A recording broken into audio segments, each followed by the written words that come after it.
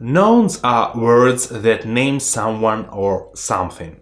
Dog, house, mother, train are nouns both in English and Russian languages. Noun is the main part in our speech. The characteristics of nouns are gender, form and the case.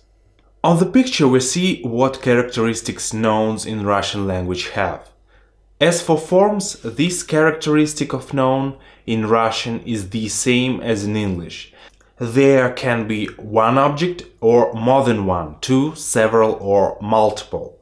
If the noun is one object, then it has singular form. If the noun represents two or more objects, then it has plural form.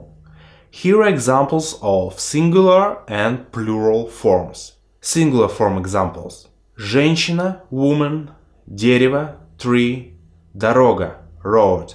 Plural form examples are женщины – women, деревья – trees, дороги – roads. As for genders, this characteristic in Russian is similar to English one, but is very different at the same time.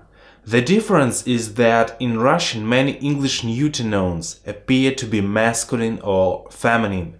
so in English, мост nouns have neuter gender, but in Russian masculine and feminine gender.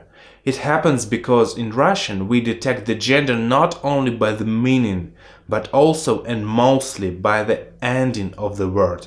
We will study it all lately in details.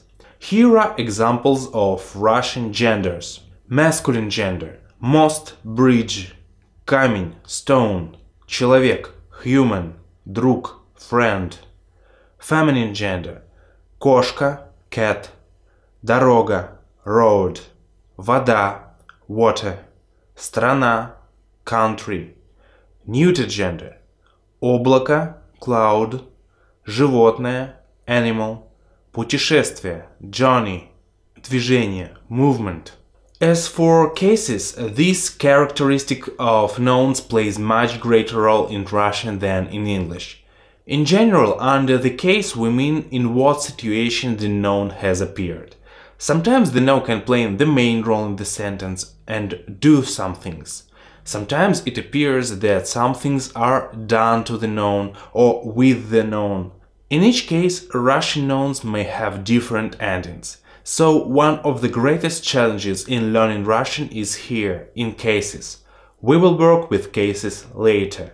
Here are examples how the word can change in different cases.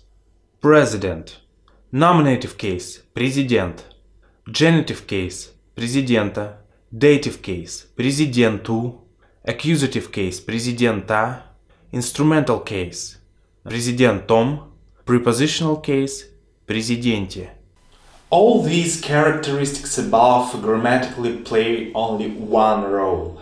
They change endings of nouns and therefore of all other parts of the sentence.